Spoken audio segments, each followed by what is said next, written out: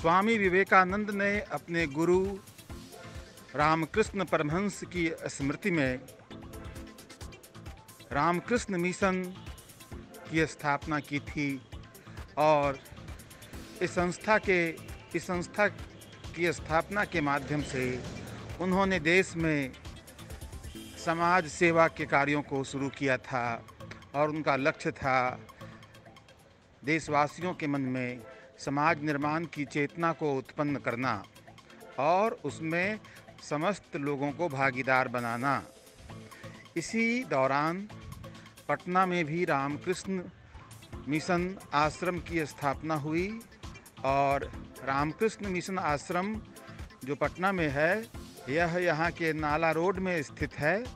नाला रोड गांधी मैदान के पास में ही स्थित है, जो पटना का मुख्य इलाका है।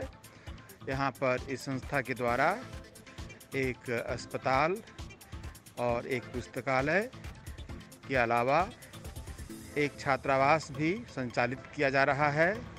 इसका सुरम्य आश्रम देखने योग्य है।